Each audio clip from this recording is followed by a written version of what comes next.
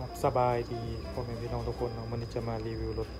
Kia Carens สำหรับรถ Kia Carens รุ่นนี้เนาะจะมาในเครื่องขนาด 1.7 ลิตร ระบบพวงมาลัยแบบฟันเฟืองเนาะแรงม้าสูงสุดถึง115แรงม้าเป็นเครื่องดีเซลเนาะจะเป็นรถในประเทศลาวเนาะเขาขอว่าภาษาลาวด้วยอะไรที่พอเข้าใจจะออกไทยหน่อยนึง นะหน้าตามรุ่นนี้มาในรีโมทกระเจแบบนี้เนาะแบบพับเราสามารถบีบเปิดล็อก อันนี้คือล็อกล็อกจะปิดอ่ากระแวนรถพร้อมเนาะนี่มาในเครื่องยนต์ขนาดน้อยเนาะ1.7 ลิตร ดีเซลเนาะมาเบิงสูบเสียวภายนอกกันเนาะ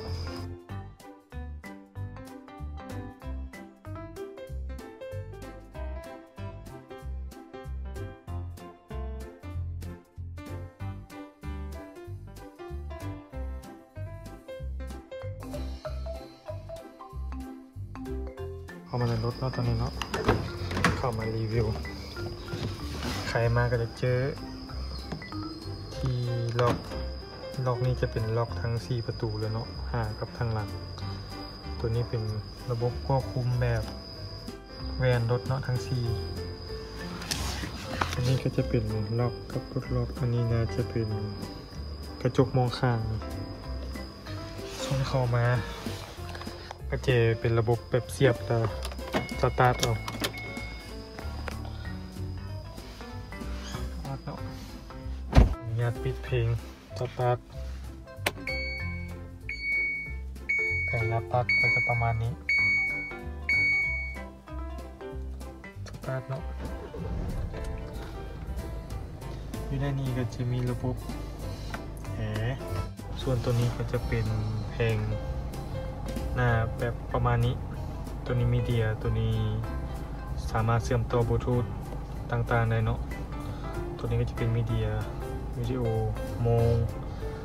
พวกนี้เซตติ้งเนาะนี่ก็จะเป็นแอร์มีบนเก็บเครื่องหลายอยู่ที่วางฝักแขนเนาะที่วางแก้วน้ำไฟส่ง ระบบเบรกมือเกียร์เป็นรุ่นนี้จะมีเป็นเกียร์ธรรมดาเนาะเกียร์ออโต้ก็มี แต่ว่าราคาก็น่าจะเพงคือตื่นสำหรับแอร์ก็จะมีหนึ่งสองสามสี่อยู่ข้างหน้าสี่ลำโพงหลายตัวอยู่ส่วนนี้ก็จะเป็นระบบอาไฟเนาะอันนี้ควบคุมเหมือนเพลงหน้าปัดแสงหน้าปัดตัวนี้ พวงมาลัยก็จะมีโหมดเครื่องเสียงเนาะปรับเปลี่ยนเนาะก็เป็นการเซตติ้งอย่างต่างๆ แต่บ่สามารถปะให้รถแล่นเองได้เนาะตัวนี้เป็นเสียงตัวนี้บ่ฮู้เนาะสองอันนี้ เพราะว่าเฮากับบ่ได้มีประสบการณ์หลายเนาะอันนี้กระจกมองข้างหลังส่วนนี้ก็จะเป็นไฟเนาะไฟเฮากดตัวนี้ามารถเปิดได้สองอัน ส่วนตัวนี้ก็จะเป็นแว่นตาบนไว้แว่นตา นี่อีกแว่นตา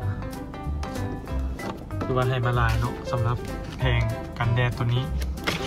จะมีแว่นนี่มาให้สามารถเปิดไฟอยู่นี่ได้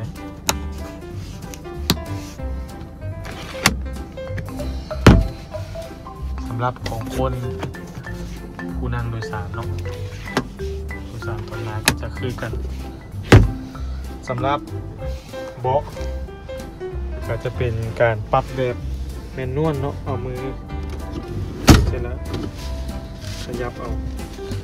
จะไม่ได้เป็นระบบไฟฟ้าเนาะส่วนอ่าที่นั่งต่างๆ ก็ถือว่าให้มาได้ละเอียดดีเนาะพวกที่นั่งเบาะหลัง มีไฟมี เดี๋ยวเขาจะไปลงไปให้เบิ่งรับผู้โดยสารก่อนหลังเนาะเราจะให้มาในกว้างอันนี้เป็นตะกร้าบางเด่นเนาะเขาสามารถเอาขึ้นเอาลงได้ใช่โดยเฉพาะทางข้างหลังเนาะส่วนเขามาทางหลังเนาะก็คือว่ากว้างขวางบ่ได้แคบเนาะเพราะเขามานั่งเข้ากับบ่ได้ฮอด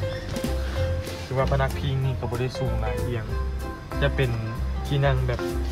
จะเป็นรถเจ็ดที่นั่งเนาะบนเขาพับไว้เพราะว่ามันมีเครื่องอยู่ เดี๋ยวเขาจะมาให้เบิงสำหรับนี่ก็จะมีบนไว้น้ำหลายหลากหลายเนาะจะมีบนจับมีบนพับ มีเอมีแต่โบมีอ่าสายสาก USB เนาะมีบนนี้เนาะระบบแบบโซกเนาะ นี่จะเป็นผู้โดยสารที่สามารถไว้เครื่องได้เนาะถ้าเขาจะดึงขึ้นมาเขาก็ดึงได้ดึงแบบนี้เลยไม่ก็จะล็อกเลยเนาะอันนี้ก็ดึงขึ้นมา เป็นเก็บที่นั่งเนาะจะมีไฟมีเปิดให้บอกว่า ที่ว่าเขายังเปิดประตูรถไปอยู่เนาะเป็นเจ็ดที่นั่งแบบกว้างขวางเนาะก็ถือว่าประเทศแคบเนาะ สำหรับภายในเนาถือว่าเก็บเสียงได้ค่อนข้างดีค่อนข้างดีเนาะนี่เขาจะรีวิวให้เบิ่งแผนอย่างต่างๆจะอยู่ในนี้ครบแอร์ก็เย็นดีเนาะส่วนผู้โดยสารตอนหล่างเนาะสามารถเอานี้ลงได้ตัวนี้เป็นตัวแบบบังแดดตัวนี้เป็นจับมือให้มาค่อนข้าง ถือว่าโอเคในราคา แปดแสนปลายบาทเนาะประมาณนั้นหรือว่าสองพันปลาย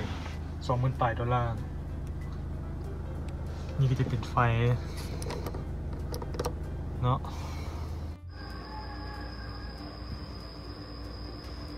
ขอเติมให้สำหรับข้อเสียเนาะเพราะว่าข้อเสียก็คือมันเป็นทางรถที่เลนในเมืองจะได้อย่างประมาณนี้มา ซึ่งว่าเขาเลนลงขุมไว้ไม่ได้แน่นอน เพราะว่ายางจะหัวไว้เนาะ สำหรับข้อเสีย ข้อดีก็คือประหยัดน้ำมัน ขับขี่ง่ายสะดวกสบาย แต่ว่าความสูงตัวนี้ฮอดพื้นนี่เขาว่ายังต่ำเกินเนาะระบบปัดน้ำปัดเนาะหน้าอันปัดฝนเป็นระบบชีดมีเซ็นเซอร์ มีเซ็นเซอร์ต่างๆ ที่ให้การถอยหลังของเนาะ ไฟหน้า LED มีไฟตัดหมอกเนาะจะอยู่ประมาณนี้เอามันนี่ก็จบขอจบการรีวิวไปเนาะ ถ้าผู้ใดมาก็ฝากกดไลค์ กดแชร์ กด subscribe เพื่อเป็นเพื่อเป็นกำลังใจให้คอยเห็นคลิปต่อไปเนาะขอบคุณ